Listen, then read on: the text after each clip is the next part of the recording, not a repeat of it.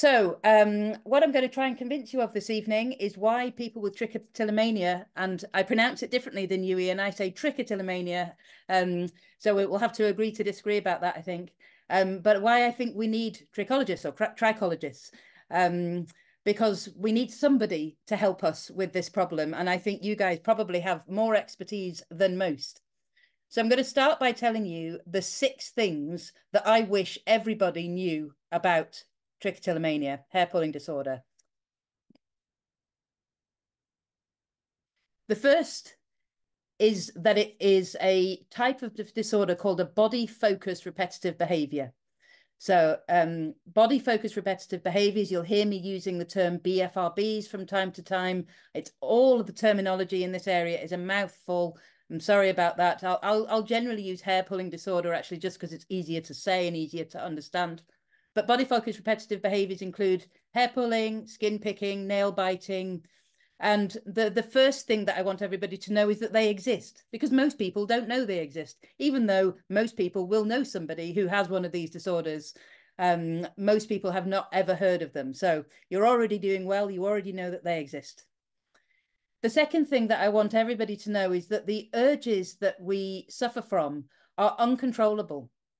So we cannot be told to stop.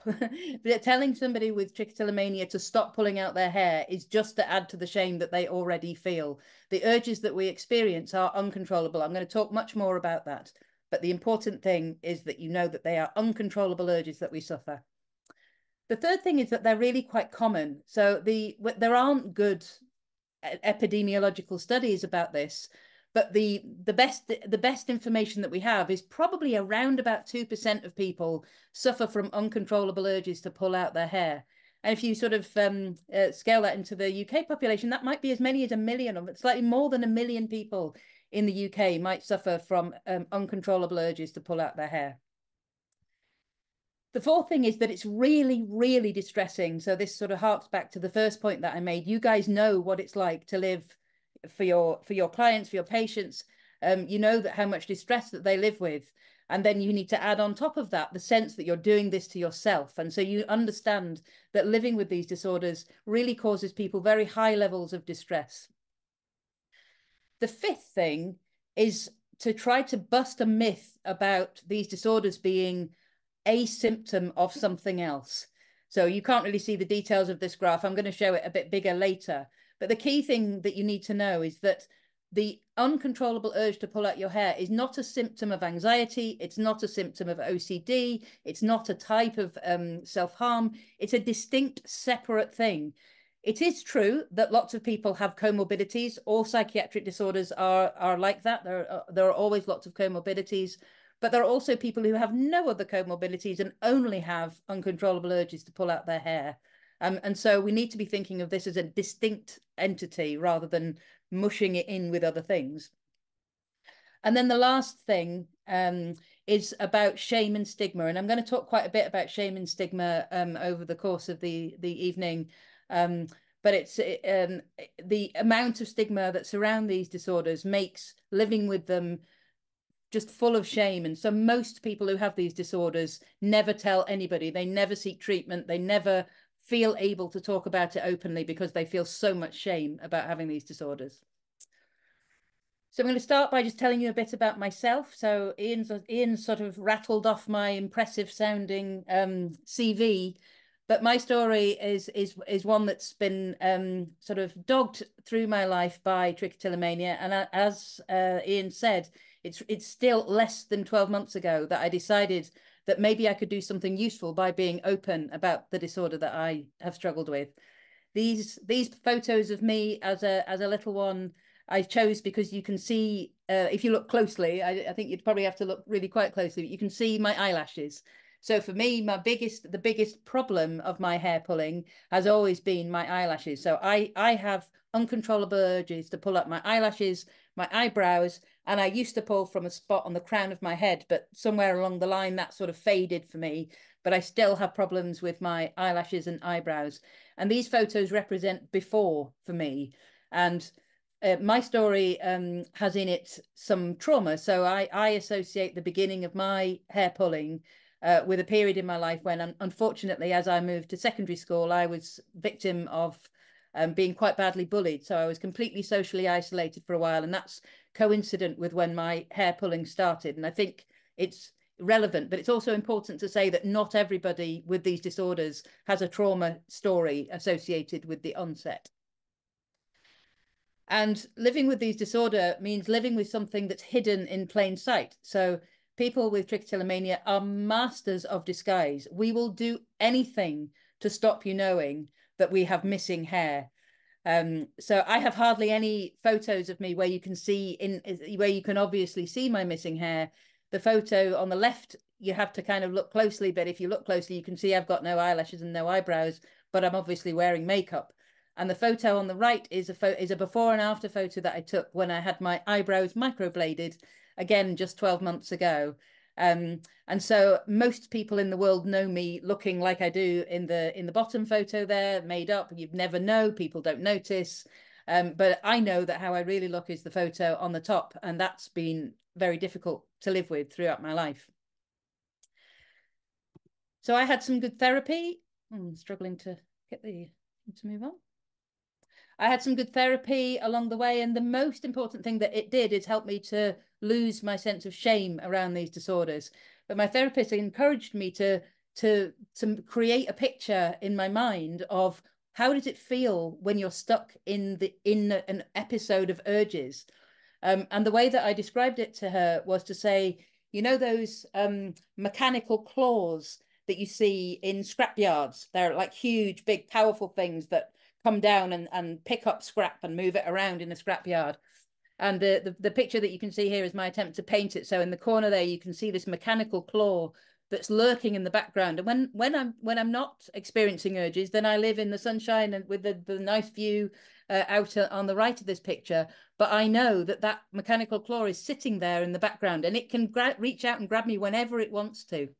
And when it grabs me, I'm stuck in it and I'm stuck in it until it lets me go. So there's a, there's an incredibly, this is a another painting, this time from inside the mechanical claw. So inside the mechanical claw, during the period of feeling completely powerless against the urges, I know that the real world is out there, but I can't, I'm completely powerless. It's much more powerful than me. I can't break out of it until it lets me go. And another way to think about this is, is that you kind of go into a bit of a trance. And this is this is something that I've become really interested in from a side of psychological perspective. What is this trance? In this trance, you don't you don't you're not aware you can't use the information that you absolutely know which is that you don't want to be pulling out your hair. I have never wanted to be pulling out my hair, but when I'm in this trance, I can't help it. So I've already um, uh, talked about this a little bit, but one of the things that's difficult about living with a disorder like this is that you have to hold the contradictions. So on the one hand, the world tells you it's not that big a deal. No one can really tell. It's only hair. No one's interested. Most doctors, psychologists, etc., have never heard of this disorder. There's virtually no research, and you get told things like no one will fund this research. But on the other hand, you're also told by society that it is a really big deal because what will people think if they know that you are actively pulling out your own hair? You can't let anybody see, so you have to live in, in a sense of hiding yourself. And as you all know, our hair and our skin and our nails as human beings are kind of our peacock feathers. So if they're not there or they're not there to the extent that they should be or they're damaged in some way, we really at our core feel like not good enough human beings. You get distress expressed and caused by your your family, the people who who love you the most, because the only tools that they have available to you to them is to tell you to stop. But you can't stop, and so you feel like a failure in their eyes as well. And the most important reason why this is a big deal and we should give it some attention is because the personal distress that's felt with these by, by people with these disorders is real, it's deep, and it's chronic. And so when you live with the contradiction, as as I have for all of my life, um, on the one hand, you have the sense that you are a failure so in my head, until I had this ther- the therapy recently, I've always had the mantra that I'm weak and I'm stupid and I'm ugly because I cannot control the urges to pull out my hair. But I also am this, you know, impressive looking uh, professor, Oxford University professor. And so you kind of you kind of hide behind the mask of uh, of of the picture on the right, even though inside you're feeling like the person on the left. And I am here today to tell you a bit about myself, but I also want you to know a bit about my community, the community of people with trichotillomania. Um, I have met a lot of people with this disorder, largely through um, internet support groups. And uh, a week or so ago, in anticipation of this talk, I reached out to, to one of the Facebooks that I'm active in and asked people if they would mind sharing with me photos of their trichotillomania so that I could show you the the extent, uh, show you a bit about what this disorder looks like across different people. And these are some photos that my my um, my brave um, uh, colleagues, my my brave co uh, collaborators sent me. Um, and so I wanted to show you this picture to show to to really make this point about the but about there's something the same here, obviously, because all of these people suffer from uncontrollable urges to pull out their hair. But as you can see, there are different patterns. There are different ways that people go about it. And um, you can see that for some people, it's really quite a small patch. When I used to pull from the crown of my head, it was a bit like the picture that's kind of middle right here. So my patch would have looked a lot like that, really quite a localized patch. You can see that some people kind of go for the hairline. Um, you can see that some people kind of go for a wider area uh, that's more distributed, so not so focal, not such a clear um, bald patch, but a thinning all over. And you can see that for some people, so the, the, the lady in the bottom right here, almost all of her hair is gone because she has pulled it out. And um, you can also hopefully see some of these people are young, some of them are old, some of them are male, some of them are female. So there's a lot of differences in the phenomenon phenomenology of the disorder, but all of these people suffer from uncontrollable urges to pull out their hair. And the point I wanted to maybe interest you in is that between individuals, there's a huge variability in the patterns of hair loss that you see as a consequence of this disorder. But within individuals, it's actually highly stereotyped.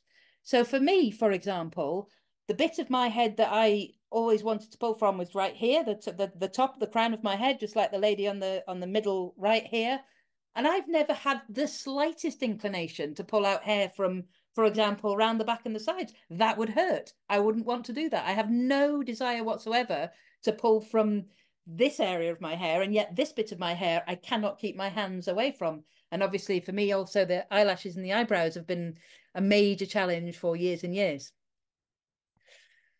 And so, the biggest problem that we face really is stigma. And um, in the medical profession, these are these are real quotes that I've heard from people. So in the medical profession, people say they've never heard of it. It's not really a proper condition. Never seen a patient, so it doesn't really count. Amongst the hair and beauty position um, uh, profession, I've heard never heard of it. Not a hair problem. You just have to stop pulling at your hair. And amongst the research communities, I hear I've never heard of it. Isn't it just a symptom of X, Y, or Z? And you're never going to get funding for this. And across all of these groups of individuals, the, the, the message you hear the loudest is, why don't you just stop? And unfortunately, this is also the message that you hear from your family, no matter how loving they might be and they're acting from their best of intentions. Everybody is saying, why don't you just stop? And so, as the person who suffers from this disorder, there's only one question you can ask yourself, which is, why can't I just stop? And in my community of people that I um, am connected with online, and again, there's about this this I'm I'm um, sampling from probably twenty thousand people across a number of different support groups um, that are internationally uh, um, uh, around the world. And the most common questions that you see in these groups are: Why can't I stop? What can help me to stop? How can I help my child to stop? And just why am I doing this? Why do why can I not stop? You know, why am I so stupid? Why am I so crazy? Why am I so weird? Why can't I stop doing this? I hate myself. I'm disgusted with myself, etc. So there's a huge amount of distress and a huge need for somebody to come along and have some ideas about about the answers to these questions. But the the second most common kind of category of questions is really where you guys come in, I think, and that's around lots of anxiety about whether hair will grow back. You know, how much do I have to pull it before my hair will just give up the ghost and stop growing? Um, personally, I know that my hair has grown back in some places and not so well in other places. Don't know why. Some places grow better than others. For example, my eyelashes still grow, bless them. They still do their best to grow up, go through, whereas my eyebrows have given up long ago. Um, and and how can I encourage regrowth? So obviously the the, the most obvious thing is you need to uh, keep your hands away from your hair. But that if I'm able to keep my hands away from my hair, what other things can I do to encourage regrowth? So these are really, really commonly asked questions, and there are never good answers to these questions. So I've already um, uh, given you some of the information that's on this infographic. It's common, it causes a lot of distress. The comorbidities are common, but this is not a symptom of other disorders. But let me just tell you another few um, facts about trichotillomania. So first of all, the most common age of onset is around adolescence. That's the way it was for me. I was about 12 years old when mine started. Most people never seek treatment. And of those who do, most don't find any help uh, or, uh, or even any sympathy amongst those they ask for help. Um, in psychiatry, we talk about functional impairment as a as a sort of uh, way of measuring how much impact something has on people's lives. That means how much how much of your life are you not living because of your disorder? So people with these disorders have moderate levels of functional impairment, meaning they uh, they feel like they can't go swimming. They feel um, embarrassed to go out socially. They'll they'll um, you know, some people find themselves kind of stuck in the trance such that they can't get themselves off the sofa to get to work in the morning. So there's a lot of various different ways of there being real kind of functional impairment for people. There's a myth that the disorder is more common in women. Um, more women talk about the disorder. If you in in most of the treatment studies and the sort of epidemiology studies, the surveys that are done, there's a huge predominance of females. So it's four to one female to male. But the only um, population studies that have been done, and they're they're not great, but they're the best we've got, suggest that actually it's much more equal. So, and I, I suspect that what that means is that men are affected as much as women. Men can probably more easily hide by shaving heads or you know, or shaving beards, whatever it might be, and maybe therefore suffer from a little bit less distress, less feel less able to come forwards. But I think that this is just as common in men as it is in women. And then the other thing uh, on this infographic is that the triggers vary. So um, when I, uh, after I was kind of able to uh, take off my cloak of shame and really kind of start to get curious about my trichotillomania, I noticed that I have, I think, three different types of triggers. So there are three different things that cause me to be more likely to suffer from urges. So sometimes it's emotional. So sometimes it's because I'm ruminating about something or I'm fretting about something or I've had a particularly exciting day and I, I'm kind of full of adrenaline or whatever it might be. So sometimes I can identify an emotional trigger. I can usually actually overcome those these days, but the ones that I find really difficult to overcome are the sensory ones. So sometimes this happened to me only yesterday. Sometimes it feels like the follicles are shouting to me. It feels like there's something about this patch of skin. Maybe it's I don't know, just some just one of those little blemishes that we get from time to time but there's something about this patch of skin which is causing sensitivity. And to my brain, that's it, that that message is pull out the hair. You need to pull out the hair. You need to pull out the hair. And and try as I might, when I suffer from one of those urges, I find it incredibly difficult not to. And, and, and the problem is, I tell myself over and over and over again not to do it, but my hand goes up anyway. I'm I, I don't make a decision to pull out my hair. I find my hand up there pulling at my hair because the sensory trigger is so loud to me to my brain. And that sort of speaks to the third type as well which is that a lot of people with this disorder report that they find themselves pulling out their hair. They don't make a decision to pull out hair. They're actually unaware or in a trance-like state when pulling. And so it's it, it's very difficult to then put in place something to help people make an alternative decision because they never made a decision to pull in the first place and some people even report finding themselves pulling in their sleep so um, uh, I've been busy in this last year, starting to raise awareness and reduce stigma around this topic. Uh, I'm a neuroscientist, and so I thought that I would have a go at trying to uh, um, create a perspective that comes from my knowledge of neuroscience and my lived experience of what it's like to live with this disorder. I'm not going to, I'm, I'm uh, obviously not meant to be able to read all those words, but I'll just try and summarize this paper in in terms of the three main points that I tried to make. And, and some of them you've already heard. So the first is that comorbidities really complicate the presentation. So as I've said, it's actually quite common that people with trichotillomania also have anxiety. Now, the assumption often is that anxiety causes the pulling. I actually think it's probably just as likely that having an uncontrollable be behavior like hair pulling causes people to live with a lot of anxiety. And I know I have personal, um, uh, uh, uh, not personal experience, but I have um, I have spoken to people who say they the hair pulling came first, the anxiety came second for them.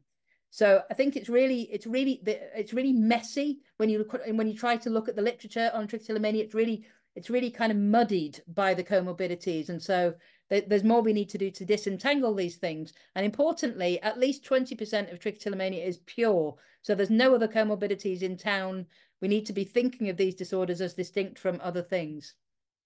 And then uh, an aspect of that that I really like to draw people's attention to is that these that the actual behavior is motor, of course, it's a movement that we're doing, and the motor systems of our brains are are, are kind of specifically designed to learn patterns of movements, to encode them, and then to execute them without going via the decision making parts of your brain.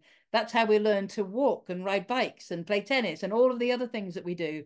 So the motor, the fact that this is a motor symptom, a motor, it's a, it's a, it's a pattern of motor movements is, I think, a really important aspect of this, and that it that's why I think we find ourselves doing it without having made a conscious decision to do it. The second really important point, and in some ways this is the most important of all, is that picking, pulling, biting behaviors are normal. Actually, everybody picks and pulls and bites at themselves. It's part of our normal grooming behavior. And it's not just human beings that do it, all primates do it. And actually, many animals pick and pull at bite at themselves and these these behaviors um, uh, are for uh, serve different purposes but fundamentally a bit of picking and pulling and biting at ourselves is normal human behavior and so the thing that's abnormal in people who live with the disorder is not that we start it's that we can't stop so again i think it's uh, it's really important that people understand that and moreover when primates are put into a position uh, into a situation where they're very highly distressed and that might be by being put in captivity or indeed finding themselves at the bottom of the pecking order, the bottom of the social the social hierarchy, they pull out their own hair. And so it's not just human beings that do this. This is not some invention of modern humans. There's something kind of hardwired in there, which is for who knows why, but the desire to kind of pick and pull at yourself is associated with distress in nature, in biology. And then the third thing I've already talked about shame a little bit, but the specific thing that I think is important to know about shame is that I think is shame is actually an important maintainer of the distress that causes the urge to pick, pull, and bite. I'll say a bit more about that in a in a in a in a moment. But the um the thing is that shame isn't just a consequence. I think it keeps us in the trap. I think it keeps us trapped in a world where we're always experiencing a level of distress, and therefore we always need to self-soothe and the picking, pulling, biting, for some reason, for some of us, is a self-soothing behavior. Stigma, and I'm going to talk more about the uh, what what exactly I mean by shame and stigma in a moment, but stigma amplifies shame, and so the most important thing that I I think that I can do in the in the short term is talk openly about this disorder so that people understand more about it. We reduce stigma. We allow people to live with a little bit less shame. They'll come out of hiding, and then we can do the research that needs doing. So this is kind of how I think about it uh, at the moment. So let's just say something causes the brain to be in some kind of distress. So that might be a psychological disorder, it might be some trauma, it might be living with neurodevelopmental differences. So these these behaviors are more common in people with autistic spectrum disorder, more common in ADHD. Something causes the brain to be in some sort of distress. Once the brain's in distress, for those individuals, this sets up the cycle. So distress leads to an urge. The urge is to pick, pull, or bite. And then if you follow through and pick, pull, or bite, you get some sort of very, very brief feeling of relief. Excuse me. But unfortunately, that's followed pretty immediately by a wave of shame. And shame keeps you in distress. And so you go around and around. Now, what I'm getting more interested in is other ways that you might find your way into this circle via sensory input. So is there something, I'm going to come to this again in a minute, is there something about that skin? Is there something about the way that the immune system is interacting with the kind of skin, brain, um, uh, uh, uh, skin brain interactions that's causing an urge that we just don't really understand yet. I've already talked about how if you uh, if you practice a motor pattern for a while, it becomes a habit. And uh, in this case, I don't mean a habit like it's a bad habit and you can just stop it. I mean habit in the neuro neuroscientific term, which is an overlearned pattern of motor uh, uh, of movements that you execute without checking in on the decision making um, part of your brain.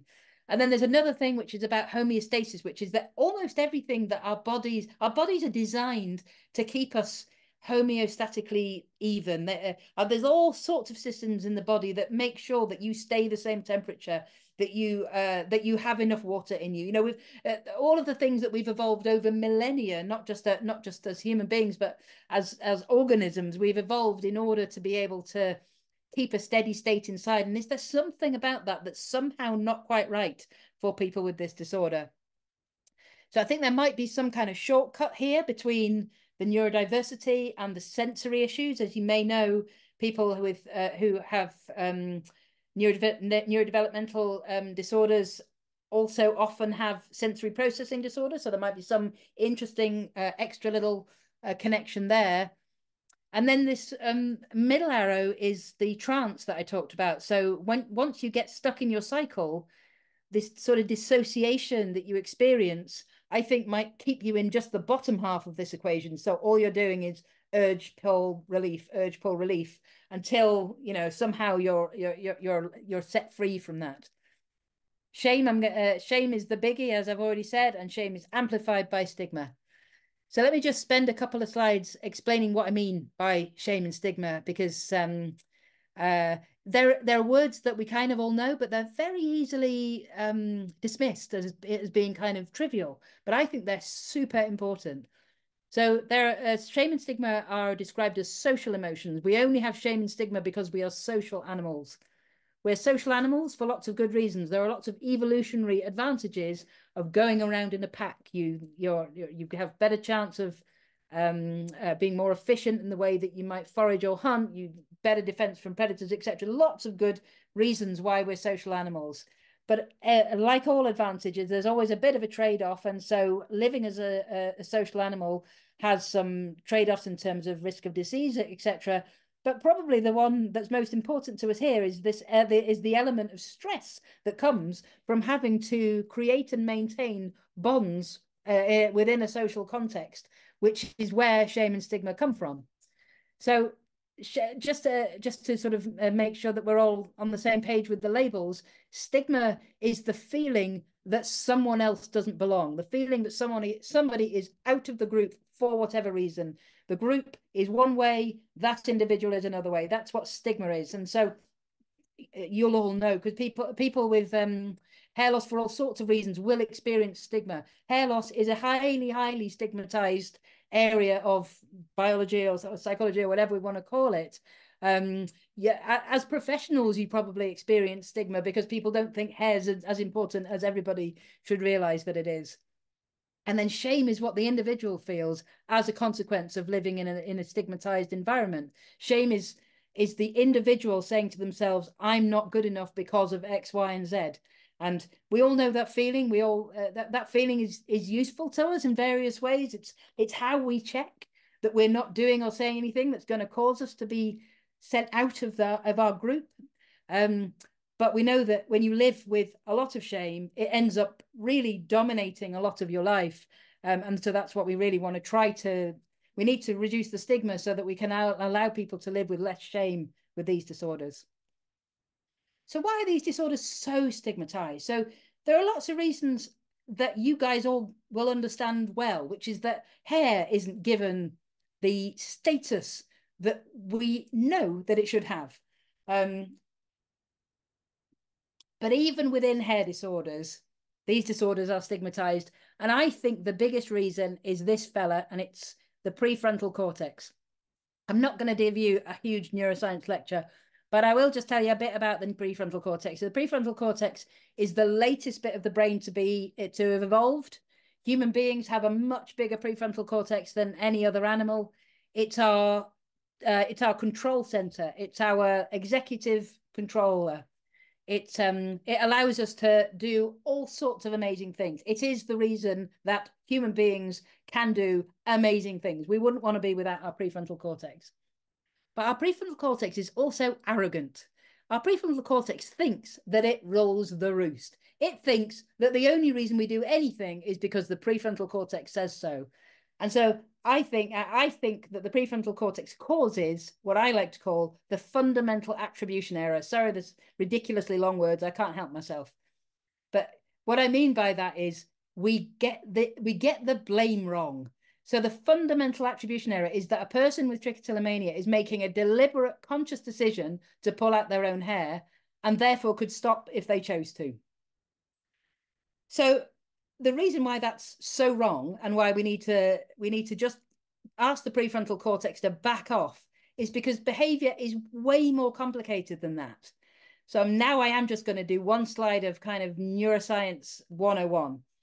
And this is this is about how we end up pulling out, uh, how we end up doing any behavior. But let, we're, we're talking about pulling hair out.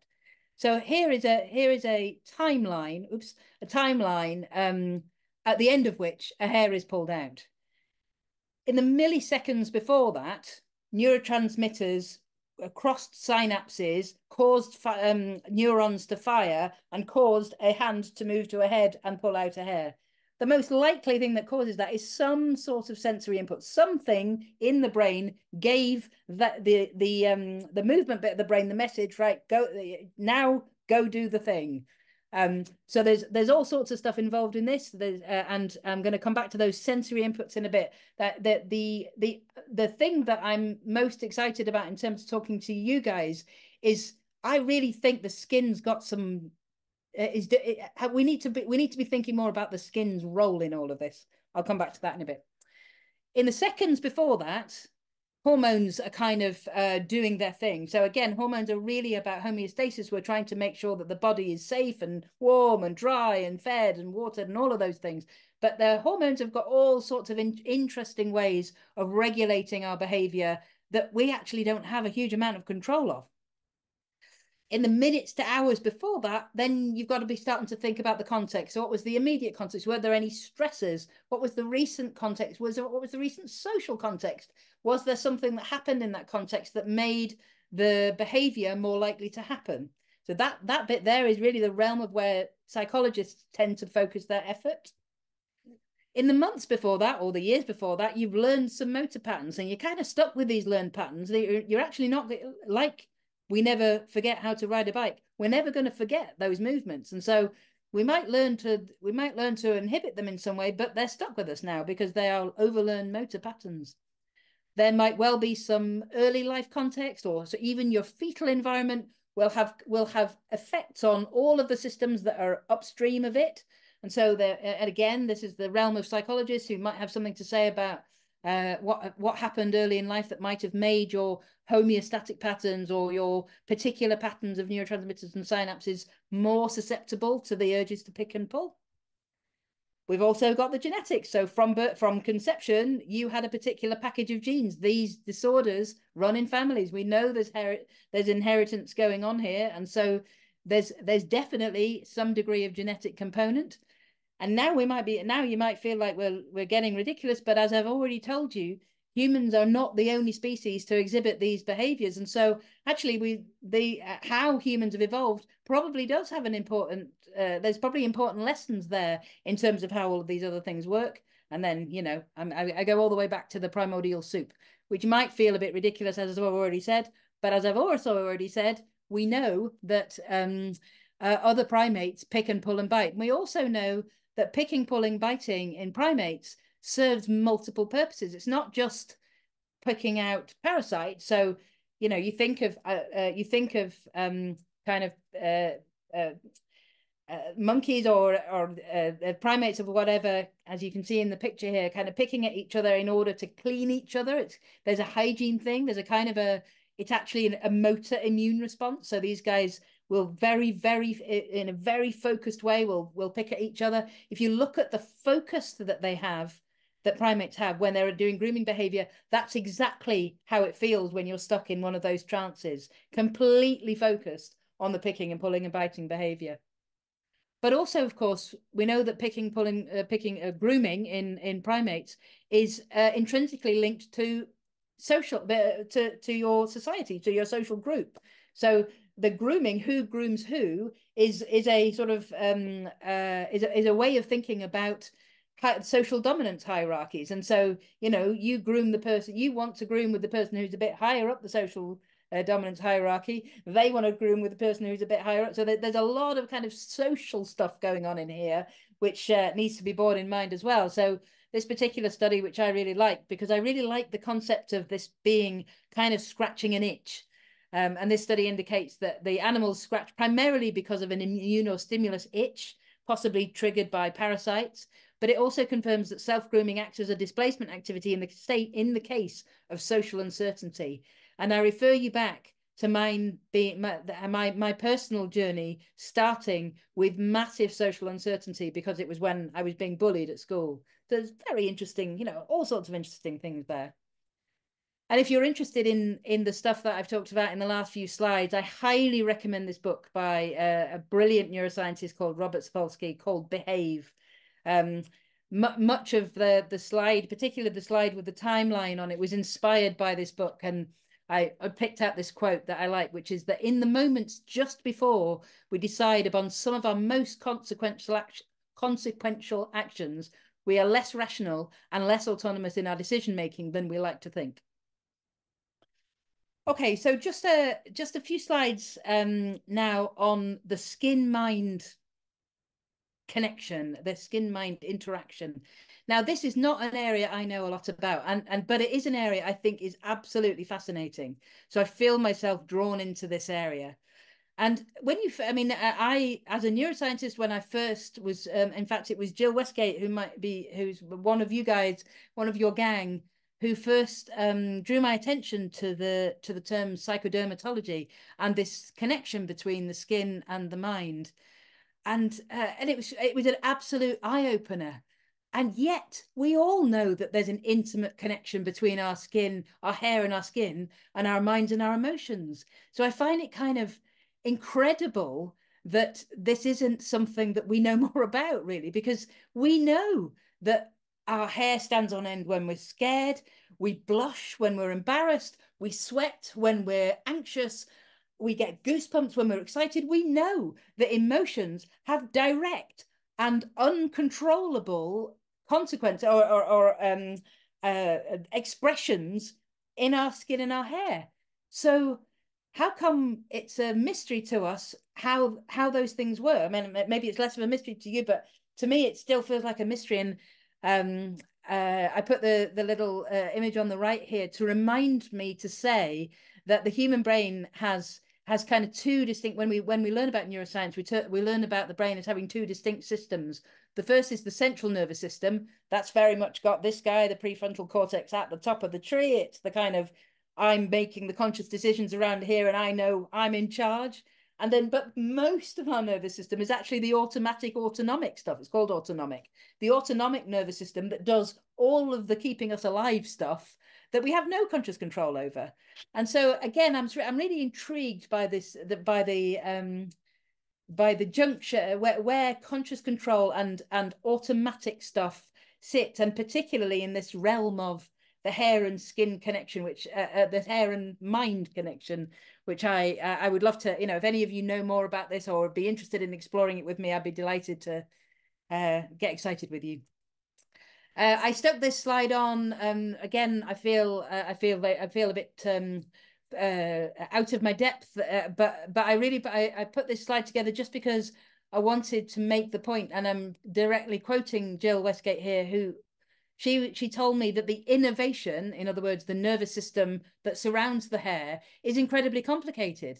And actually, there are lots of different types of fibers doing lots of different types of things that have all sorts of ways of connecting to the higher higher order centers in our brains. And I find that again, I just find that absolutely fascinating. And in neuroscience, this is not something that people are thinking about. So I think there's a real kind of opportunity to maybe put our minds together to to learn a bit more about this. And again, I'd love to chat with anybody who'd who's got interesting ideas. And Jill also um, introduced me to the term psychodermatology. And again, it's sort of a duh moment because of course we know that there are intimate interactions between skin and hair and and mind and there are lots of disorders there are lots of dermatological disorders that have psychological consequences depression anxiety all, all of the usual suspects there are also psychiatric uh, disorders that have dermatological consequences so again i think this is this is an area that's underserved under under under appreciated uh, and ripe for uh, a bit more uh, investigation. Uh, I'm not going to go through this slide in a great deal of detail, but this slide is just uh, to make the point that it's a, this is this is a beginning of a journey for me, and there's an awful lot to do. So there's still a lot we don't know about the phenomenology of BFRBs. I've told you some of the things that I know from my own experience, but the good good quality research in most of these areas still hasn't been done. People don't ask. People uh, in standard psychiatric psychological assessments the the question do you suffer from uncontrollable urges to pick pull up at your skin pull out your hair etc doesn't get asked and so one of my missions is to get that question asked so that we get better epidemiological data. There's obviously the whole world of treatments. Um, psychological treatments have some efficacy but actually i think they don't work they tend to not work for long. So they they they may be successful in the short term but people tend to relapse. So people who have these disorders tend to tend to have the sense that they're going to have it forever and that, that and there's nothing that can help them. Who knows whether there might be pharmacological interventions? I feel kind of slightly odd about that. I'm not so sure that taking a pill for this, but who knows? Who knows? Uh, who knows where it'll take us? Excuse me. We still need to develop good measures. There are some measures. I don't think they're great. I'm not sure they're great. I'm not sure they're very valid, but uh, there's some work to do there. And then there's the whole world of the mechanisms. And uh, again, I won't go through this in great detail, but you can see that I've already uncovered all sorts of areas of science to where I think there's interesting things to do. And the the thing, the one to draw attention to is that is that um, uh, is that one on the far left there, which is the hair and skin science. So, uh, and um, again, I'm just I'm here to try and get you interested in in learning more about it. So and and this is my this is my last sort of um majorly data heavy slides, but um a word heavy slide. But this is this is why I, I, this slide I'm going to try to convince you that BFRBs are an interesting and complicated problem. So to understand BFRBs, you have to understand all of the aspects of the phenomenology. And so that is the urges are episodic. We don't we don't suffer from them all the time. They come and go. They don't they don't seem to have a particularly obvious rhyme or reason to when they come and go. So there's something that I live most of my life without any urges, but when the urges come, the urges come. People with these disorders can pick and pull and bite anywhere on their bodies, but within an individual, usually the um, the target area is highly stereotyped. So why that bit of hair and not that bit of hair? Importantly, we don't really feel pain. It's not true that it, you do you do have a sensation, but if I pull hair from here, it's a different feeling than if I try eh, than if I pulled hair from what uh, from an area that I that is not my not my target zone. If I pull from my not target zone, it would hurt. It would hurt like it would hurt anybody else. When I pull hair from the target zone, it's a feeling, but it's not pain. So it's something something interesting there. I've already told you that the triggers aren't all the same, and you can just as easily be triggered by boredom as you can by stress. The episodes aren't all, the same. Sometimes you find yourself in that very kind of trance like focused state. Sometimes you're not thinking about it at all and you just find yourself doing it. So the episodes aren't all the same. I already talked about the trance.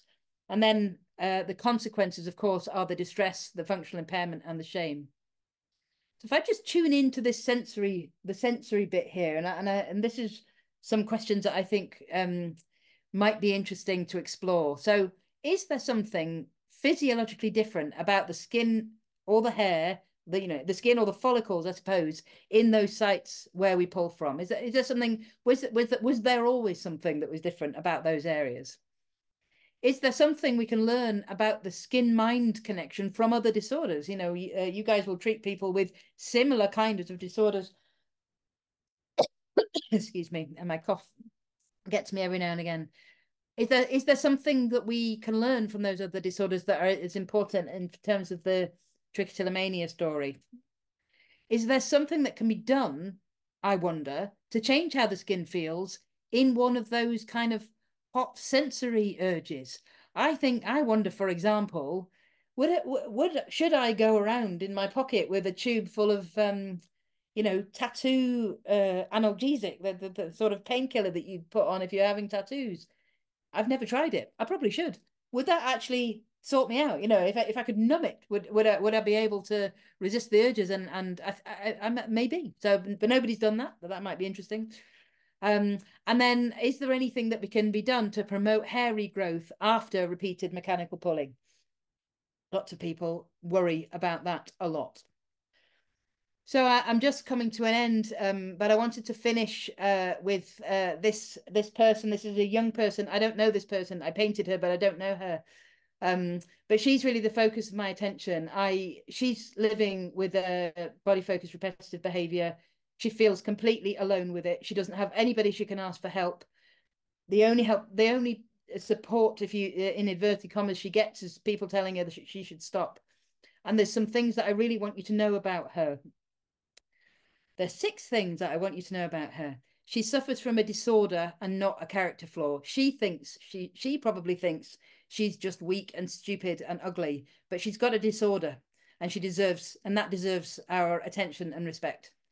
She the urges that she experiences to pull out her hair are uncontrollable. She really really wants to not be pulling out her hair, but she cannot control those urges she's not alone. There are plenty of other people like her. If it, it, it, would be great if we could connect her with the other people who are feeling the same way and so she doesn't feel so alone um, but, it, but importantly there are lots of people like her uh, who need help with this the hair pulling that she experiences causes her a lot of distress she feels really terrible about the fact that she has to go around with bald patches but she also feels terrible about the fact that it's her hands that are doing it she she knows that she's doing it to herself and that makes her feel terrible her hair pulling is not part of another disorder. She hasn't got any other disorders. She just can't resist the urge to pull out her hair. And she experiences a huge amount of shame and, and she, she feels a huge amount of shame. And that's amplified by the stigma that uh, she experiences because there's not enough awareness around these disorders. So I would just like to finish by encouraging you to follow me. So you can find me at the Trich Prof on Facebook, Instagram, Twitter. Um, the the web page there is where you can find links to the things that I've been writing, re, um, uh, some podcasts and things. You can email me if anybody's interested in more information or and peer support. You can find that via BFRB UK and Ireland or by the US based BFRB um, Trichotillomania Learning Centre.